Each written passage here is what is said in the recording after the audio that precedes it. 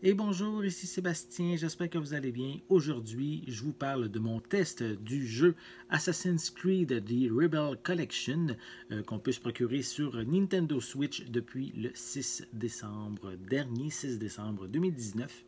Euh, en fait, ici, c'est euh, un ensemble de deux jeux de la collection Assassin's Creed, puisqu'on débute avec Black Flag qui était déjà disponible sur Wii U en 2013 et aussi sur les autres consoles euh, de la précédente génération.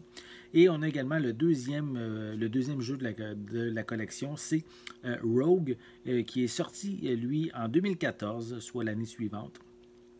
Mais ici, c'est la première fois que, que, Rogue est disponible sur une console de Nintendo. donc, les deux jeux sont des jeux d'action, aventure et d'infiltration. Euh, dans Black Flag, on plonge dans la guerre historique qui oppose les assassins aux Templiers à l'époque des pirates, alors qu'on est dans la peau de Edward Kenway. Euh, pour Rogue, on incarne chez Patrick Cormac et à l'époque de la guerre des Sept Ans. Euh, c'est un ancien membre loyal de la confrérie des assassins qui va se convertir peu à peu en chasseur d'assassins. Euh, les deux euh, jeux proposent beaucoup de segments en mer et présentent même des moments épiques lors de batailles navales. Évidemment, la franchise a beaucoup évolué depuis la sortie initiale de, ces deux jeux, euh, surtout si on les compare aux plus récents volets comme Origins ou Odyssey. cependant, l'histoire est ici quand même toujours aussi captivante.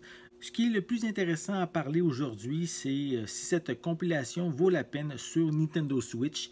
Et euh, oui, je peux dire euh, que ça vaut la peine. tout d'abord, on retrouve tous les contenus supplémentaires, tels que le prix de la liberté, ou en anglais c'est Freedom Cry, ou on a également Aveline qui sont les DLC de Black Flag. en fait, en les ajoutant à cette édition-là, mais ça en fait une version plus complète, hein, très complète même. On retrouve aussi euh, les volumes 1 et 2 du manga de Assassin's Creed Awakening et les 55 premières pages du roman Assassin's Creed 4 Black Flag Barbe Noire, le journal perdu.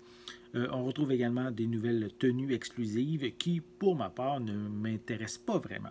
Visuellement, les graphismes ne sont pas du même niveau que sur PS4 ou Xbox One, mais Ubisoft a réussi à faire un portage de qualité. Les jeux roulent à 30 images par seconde et je n'ai pas senti de problème de fluidité. À noter que la piste sonore française est incluse, mais il faut la télécharger séparément sur le eShop de la console. Cette situation avait été la même lorsque j'avais testé Assassin's Creed 3. En faisant quelques recherches, j'ai découvert que si on achète la version physique, le jeu Rogue n'est pas inclus sur la cartouche, il est offert en téléchargement seulement. Il suffit de démarrer le jeu, de sélectionner Rogue, ce qui va ouvrir automatiquement le eShop pour télécharger le jeu. Si on achète en numérique, alors sont, les deux jeux en fait sont automatiquement téléchargés. Euh, je trouve ça dommage de, d'acheter une version physique, mais d'avoir un contenu seulement à moitié. Le studio aussi propose quelques fonctionnalités euh, propres à la console de Nintendo. Euh, on a ici l'écran tactile euh, qui permet d'explorer la carte plus facilement. on peut aussi toucher un point de repère ou un élément afin de s'y rendre directement et je trouve ça quand même assez pratique. le motion control de la console permet aussi de viser, mais personnellement, ce n'est pas une fonction que je trouve bien pertinente dans ce cas-ci. Euh, la vibration des Joy-Con apporte aussi un sentiment plus immersif que j'ai quand même trouvé ici assez agréable, mais sans non plus être essentiel à, l'expérience. Euh, personnellement, j'ai joué davantage sur la route avec ma Nintendo Switch Lite et euh, ben, disons que la vibration n'est pas une option disponible dans ce cas-là. Et ben, je n'ai pas senti que ça manquait, qu'il manquait en fait quelque chose pour avoir vraiment le plaisir de jouer à Assassin's Creed. Donc ici, euh, Assassin's Creed du Rebel Collection sur Switch, je trouve que ça vaut la peine afin de profiter de sa portabilité surtout. Euh, c'est vraiment amusant de retourner à l'époque des pirates, même si on est à l'extérieur de la maison. Les graphismes sont moins définis que sur Xbox One ou PS4, mais les développeurs ont pris le temps de soigner les deux titres. J'avoue que l'écran tactile est un plus bien agréable, mais si vous êtes du type à jouer sur votre télé, alors euh, ben, aussi bien vivre l'expérience sur une console beaucoup plus performante dans ce cas-là. Donc, euh, pour ces raisons, je vais lui donner une note de 7.5 sur 10. J'espère que vous avez aimé cette vidéo. Si c'est le cas, n'hésitez pas à mettre un pouce en l'air, à laisser des commentaires.